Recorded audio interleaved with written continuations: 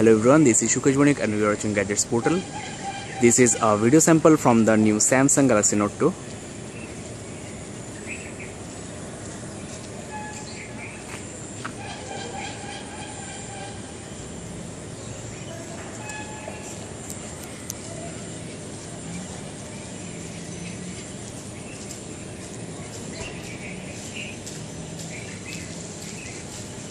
The autofocusing seems quite good.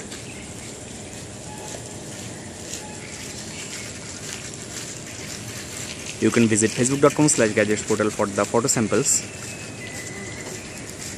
Let's try the zoom.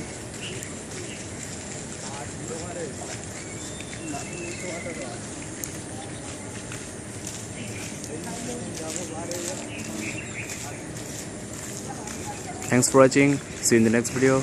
Bye bye.